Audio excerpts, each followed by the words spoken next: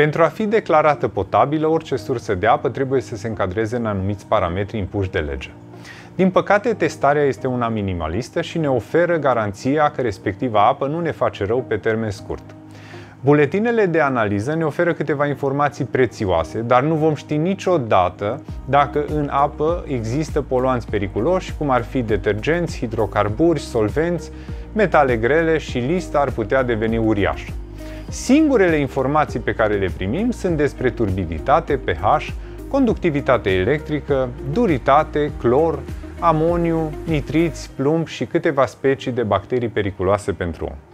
În cazul în care folosești apă dintr-un puț, riscul de a avea în apă substanțe nedorite este și mai mare, deoarece nu beneficiezi nici măcar de monitorizarea de bază pe care o oferă o companie de apă.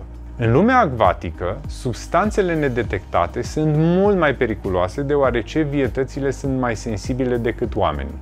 De exemplu, testele obligatorii nu măsoară nivelul cuprului, o substanță deosebit de periculoasă, în special pentru nevertebrate, deoarece acestea nu au un mecanism care să blocheze asimilarea acestui element, nici măcar în cazul intoxicațiilor. Dacă vrei să fii absolut sigur că apa pe care o introduci în acvariu este de cea mai bună calitate și că întotdeauna, indiferent de anotimp, se va menține această calitate, îți recomand să folosești apă de osmoză, căreia se adaugi mineralele necesare obținerii parametrilor doriți. Ai nevoie de o instalație de osmoză inversă cu care vei obține o apă fără impurități, fără clor, cu duritate zero și, cel mai important, fără lunga listă de posibili compuși toxici nedetectabili. În plus, ai nevoie de săruri de remineralizare pentru a ridica duritatea la nivelul dorit. Doar așa vei avea garanția unui mediu stabil cu parametri constanți și evitarea îmbolnăvirilor datorate fluctuațiilor. E bine de știut că nu ai nevoie de condiționeri specifici schimbului de apă dacă folosești apă de osmoză remineralizată.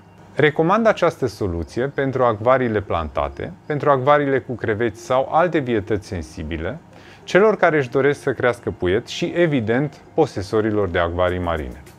De departe, această variantă este cea mai bună pentru cei care vor să facă schimburi de apă mari și dese, pentru cei care vor să evite deciclarea cu orice preț, fie ea chiar și parțială, și pentru cei care îngrijesc vietăți rare sau foarte pretențioase. Apa de osmoză remineralizată este net superioară oricărei alte surse de apă dacă dorești să ții departe algele de acvariul tău. Te invit să vizionezi clipul video în care am urmărit ritmul de dezvoltare al algelor verzi în apa de osmoză, apa de la rețea și apa din acvariu. Sunt convins că vei găsi interesante concluziile pe care le-am tras. Linkul îl găsești în descriere.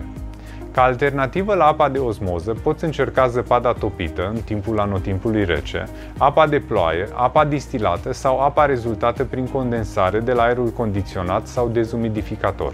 Îți garantez că niciuna din aceste variante nu este mai simplă și nici mai ieftină decât apa de osmoză pe care o poți obține la tine acasă. Cheltuielile cu mentenanța unei astfel de instalații sunt relativ mici.